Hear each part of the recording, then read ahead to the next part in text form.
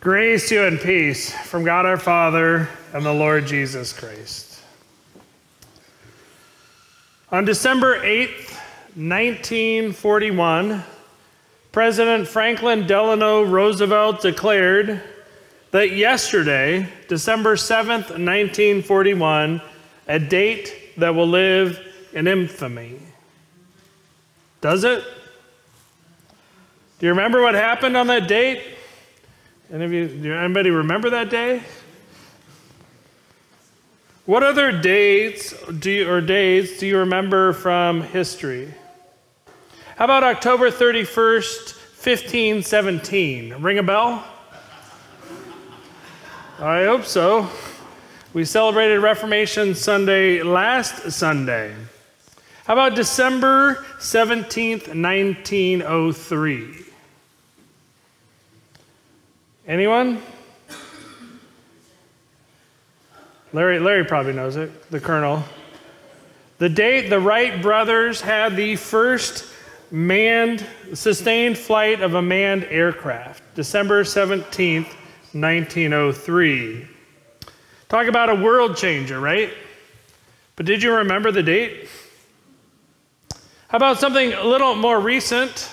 This is like a layup. September 11th, 2001. A date that we said we would never forget.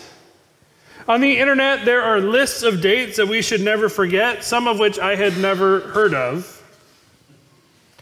Which got me to thinking about how quickly we forget things. And even if we don't forget that things happened, we neglect or deny to assign it the significance that it actually had or should have in our lives. You see, the world changed when Pearl Harbor was attacked. And it set into motion a series of events that culminated with the end of the last World War. But not before we dropped two atomic bombs upon Japan. I hope we never forget the long lasting pain and devastation that that decision created. The truth is that we do forget from one generation to the next. We forget what we've endured and the consequences of our actions. And we forget who and in what we should place our trust. The pain, this painful reality is demonstrated in our reading from 1 Kings this morning. The very people of God have forgotten who Yahweh is, and they've forgotten their status as the people of God. They've forgotten what their ancestors endured and what they accomplished. I think that's one of the reasons that an All Saints Sunday is so important, so that we don't forget who God is so that we don't forget our ancestors and what who have gone before us and what they endured and what they have accomplished and how we today are standing upon their shoulders. But it's easy to forget that, to deny that, to gloss over that and pretend like the world started when we were born.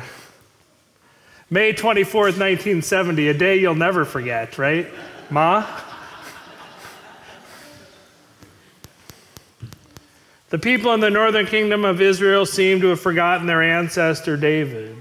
They've forgotten him and the God that he loved and the God who also loved him.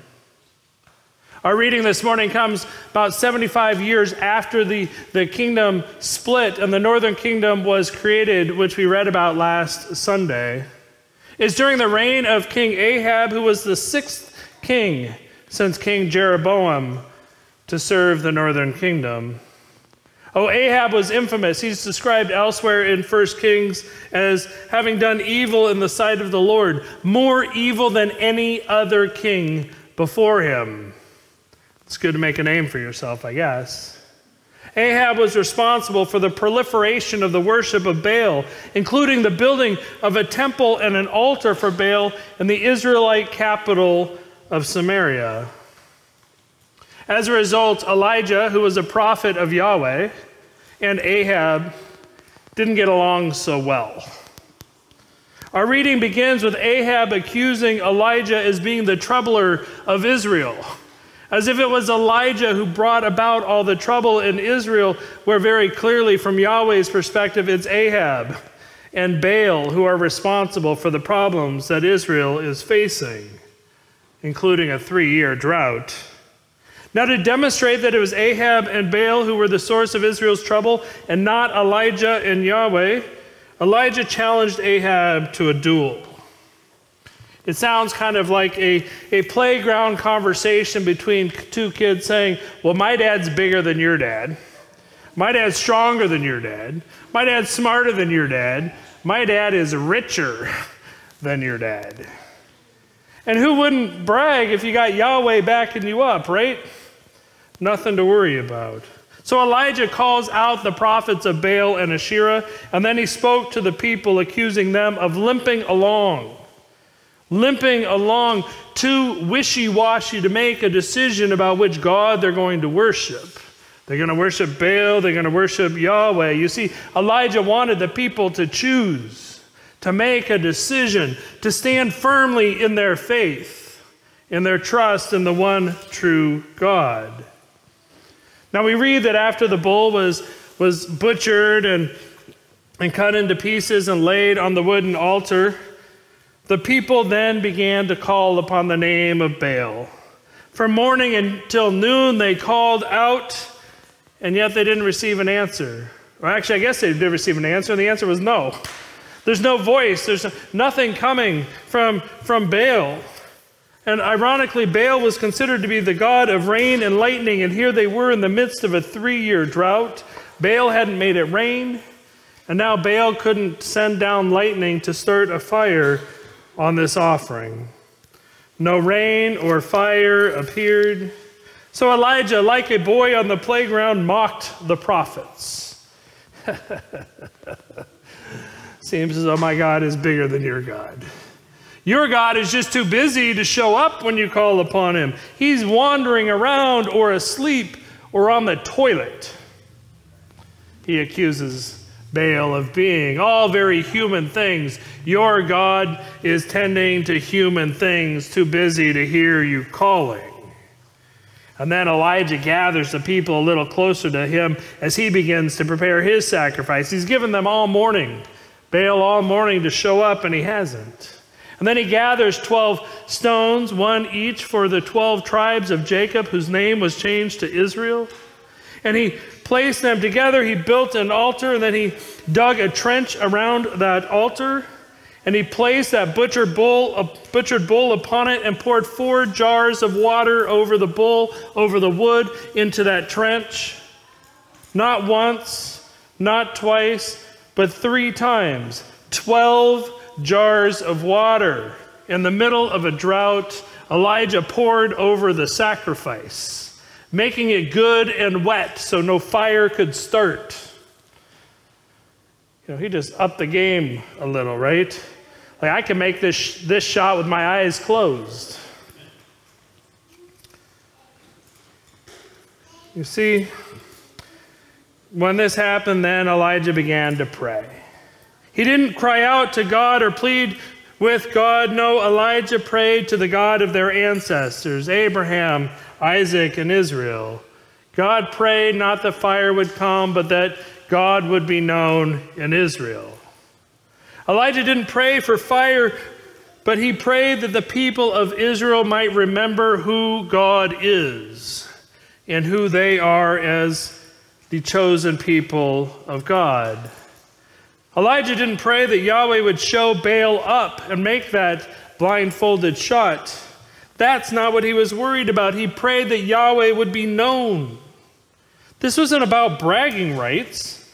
Elijah didn't set up this con- contest simply to prove that his God was better than Baal, which obviously he is, but instead to show the people who God is, that they might come to know the one true God the God whom their ancestors had worshiped, the God who King David had moved into the center of their life together. We read about a couple of weeks ago that when David becomes king, he moves the Ark of the Covenant to Jerusalem so that might, God might be at the center of their life together. It's as though the people have forgotten. When Elijah prayed that the people would turn back to God, the fire of the Lord fell and consumed that, that wooden offering. The wood, the cow, the bull, the stones, the dust, the water, gone. All of it is how hot that fire was. Seeing this, the people fell on their faces and worshiped God, saying, the Lord indeed is God, the Lord indeed is God, just as Elijah had prayed that they would. Elijah set up this entire contest with the goal of reminding the people who God is.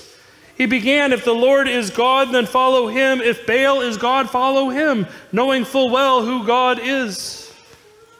Elijah's goal was met.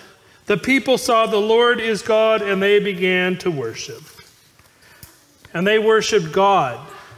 They didn't worship Elijah, they worshiped God because he was the one who actually had performed this miracle. And Elijah, as a prophet, a true prophet of God, not a false prophet, was careful to, to ensure that the people understood that it was Yahweh who brought the fire down.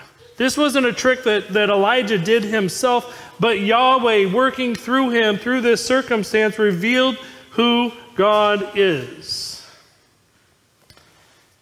I suspect, I hope, that each of us has encountered people like Elijah in our lives and in our faith journeys.